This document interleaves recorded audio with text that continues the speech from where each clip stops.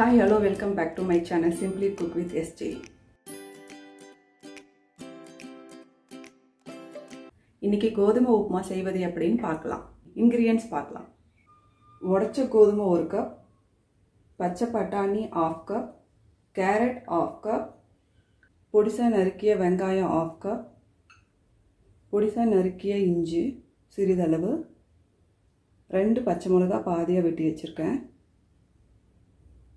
Lemon juice சிறிதளவு ஒரு ரெண்டு டீஸ்பூன். கொத்தமல்லி சிறிதளவு உப்பு ஒரு டீஸ்பூன்.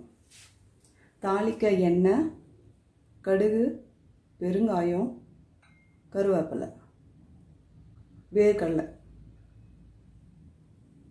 கேஸ் ஆன் பண்ணிவிட்டு கீழே பேன் வச்சு ஒரு டேபிள் ஸ்பூன் ஆயில் விட்டு அதில் கோதுமையை சேர்த்து வறுத்து எடுத்துக்கோங்க. ஹை ஃப்ளேமில் ஒரு ஃபைவ் மினிட்ஸ் வச்சுக்கோங்க.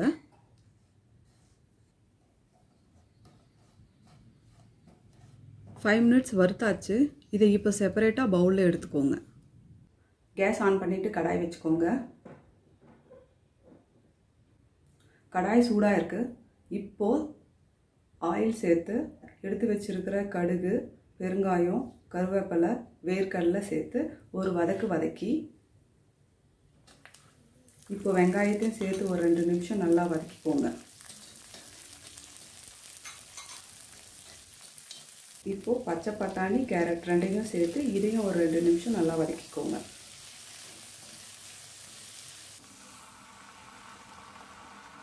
ஒரு கப் உடச்ச கோதுமைக்கு நாலு கப் தண்ணி ஊற்றிக்கோங்க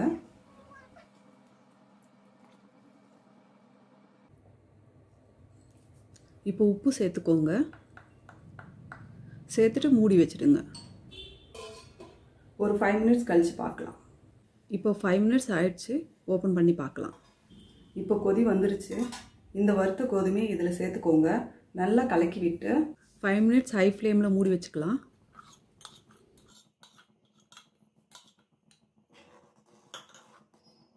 ஃபைவ் மினிட்ஸ் ஆயிடுச்சு ஓப்பன் பண்ணி பார்க்கலாம். இந்த கன்சிஸ்டன்சி இருக்கும்போது நல்லா கலக்கி சிம்மில் வச்சுக்கோங்க. இப்போ மூடி வச்சிடலாம். ஒரு ஃபைவ் மினிட்ஸ் கழித்து பார்க்கலாம். இப்போ ரெடி ஆயிடுச்சு. ஃபைனலாக கொத்தமல்லி லெமன் ஜூஸ் ரெண்டுத்தையும் சேர்த்துக்கலாம்.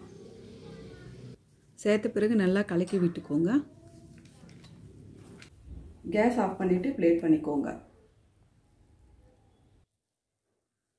இப்போ சூடான சுவையான கோதுமை உப்புமா ரெடி இதை உங்கள் வீட்டில் சமைச்சு பார்த்து டேஸ்ட் எப்படி இருக்குன்னு கமெண்ட் செக்ஷனில் சொல்லுங்கள் இந்த வீடியோ பிடிச்சிருந்தா லைக் பண்ணுங்கள் ஷேர் பண்ணுங்கள் சப்ஸ்கிரைப் பண்ணுங்கள் மறக்காமல் பெல் ஐக்கானை கிளிக் பண்ணுங்கள் நன்றி வணக்கம்.